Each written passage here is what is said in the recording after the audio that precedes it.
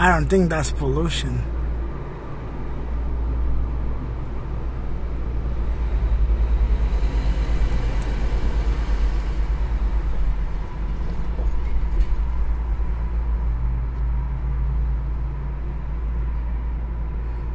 You could actually see it from the edge, like without the sun showing.